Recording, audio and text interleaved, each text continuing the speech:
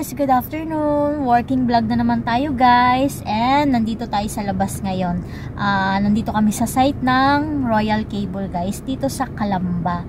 And nabanggit ko pala dati sa inyo na di ba client namin yung Royal Cable and now guys nandito tayo sa isang site nila dito nga sa Kalamba. And ito yung aking mga kasama. Ando na sila guys. Oh, ayan. Ayan yung nakikita nyong generator guys is generator namin yan. Supply namin yan last year. Last year pa. Kaya lang, kaya kami nandito is mag uh, ano, susukat kami ng para sa installation ng ATS kasi magpapalagay sila ng ATS. Um, sa hindi nakakaalam guys kung ano yung ATS. Yung ATS is automatic transfer switch. Siya yung ano, yung kunwari pag nag-run out hindi mo na kailangan puntahan dito kasi kusa na siyang mag-on basta may ATS. And kapag may Meralco na, kuwari pag nag-brown out, kusa siyang mag-on, kusa kang magkakaroon ng power. And pag mag, nag-brown out, kusa ding mamamatay yung generator mo. So, ano, um, kinakailangan talaga yung guys sa mga malalaking kumpanya. Kasi ano talaga, necessity talaga yung ATS kasi para hindi ka na tatakbo-takbo, para i-on out i-on at i-off yung generator. Kaya usually yung iba na ayaw nilang ma-hassle at ayaw nilang ma-delayed yung power, naglalagay sila ng ATS. And yun ang aming i-install dito sa ano sa ano sa dito sa site ng Royal Cable dito sa Calamba. And after pala dito guys, pupunta pa kami sa Kanlubang kasi tatlong site ang i-installan namin ng ATS. Dito sa Calamba, Kanlubang at sa Santa Rosa. Panghuli na namin yung Santa Rosa kasi pauwi naman na kami noon. So, kaya pinahuli namin, parang umikot lang kami ng ganon. And yun ang ating ganap for today, guys. And update ko na lang kayo later. Um, inaantay pa kasi namin yung aming contact dito. Hindi kasi kami basta-basta pwedeng gumalaw at pumasok dun sa loob. Hanggat wala yung aming contact dito. And, as you can see, dito lang din ako sa sasakyan. Kasi, wala naman din akong gagawin doon na paikot-ikot. Ayan sila, guys. Nagbe-meeting-meeting ang mga gwapong ano, MGSI boys. And by the way guys, nagpagupit na pala si boss. Ayan. Pogi na siya ulit. Na-convince natin siyang magpagupit. Ayaw niya talaga magpagupit guys. Kasi ano, uh, gusto niya daw magpahaba ng hair. Kaya lang, di ba hindi bagay sa kanya? Pangit. Eh, buti ngayon na-convince ko na. Ang pogi niya kaya ngayon guys. Na bagay na bagay talaga sa kanya yung ganyan gupit. Ang linis lang tingnan. Anyway guys, um, update ko ulit kayo later. Ipapakita ko sa inyo yung ah, uh, pag nandun na kami sa ano sa kanlubang na branch nila.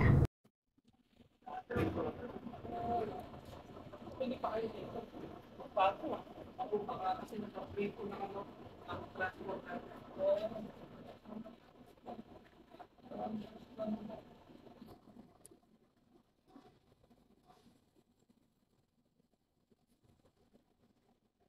Hi guys, nandito na tayo sa ano guys, uh, Kanlubang. Yung location pala natin ngayon guys is nasa Kanlubang na tayo. Dito sa uh, cable, Royal Cable ng Kanlubang. Ipapakita ko sa inyo yung Royal Cable guys na ano, office nila. I mean site. Ganun. Yung palang kanina guys doon sa uh, ba yun? Ayan, ano ba yun? Doon sa pinunta namin sa Kalamba, uh, server site pala yun nila yun guys. Hindi yun mismo yung opisina. Server site nila or ano, uh, yung mga kung saan data server center, mga ganon. Yun pala yun.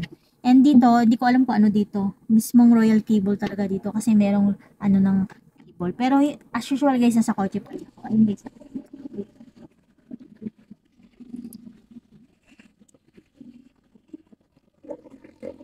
Look.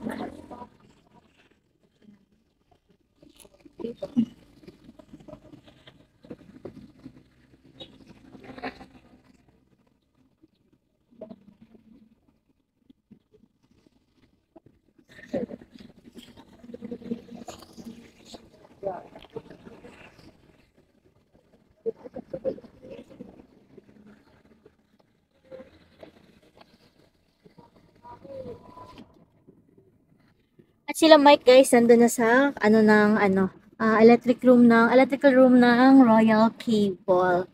Ayan dito, dito lang tayo sa kotse. Pipicturean ko sana yung ano, Royal Cable. Mga naka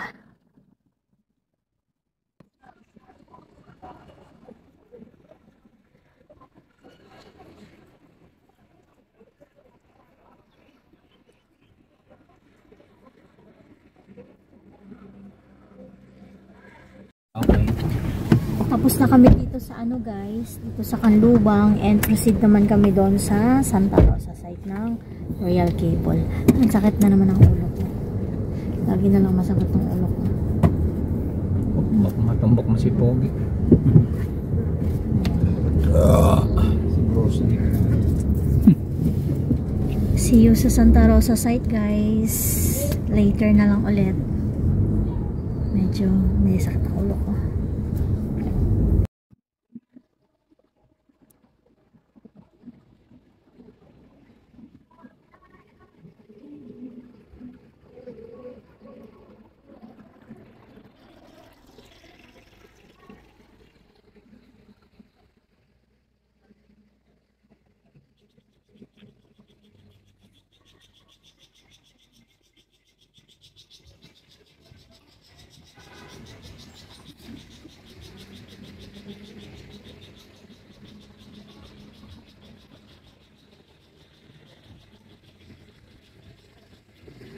Hello guys! Finally, nakabumaba na ako ng kotse. Sakit na kasi ng paa ko.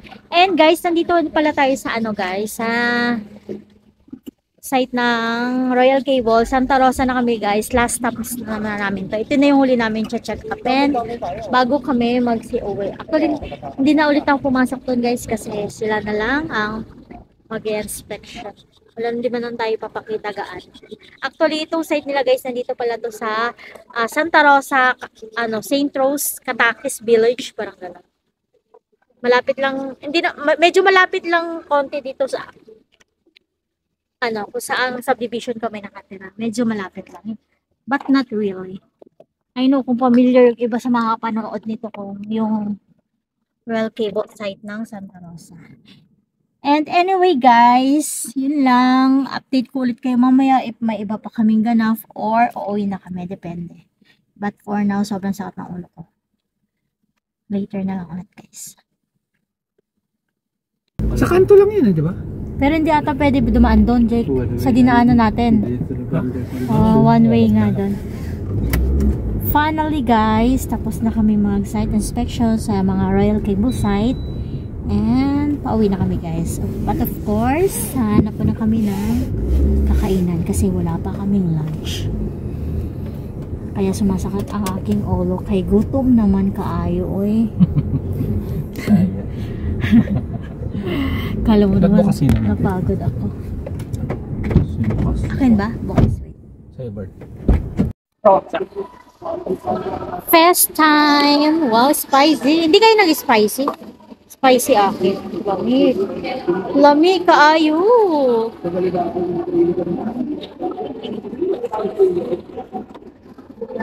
So, works.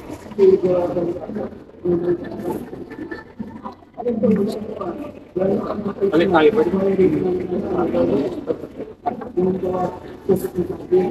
Wow, may ice cream pa. Lami. Ang laki ng drinks. Thank you, Sam. May float pala to. Ha? Float? Ano? Jeff? Soft drinks? Liit kasi ng pwesto nila, no? Dalawa at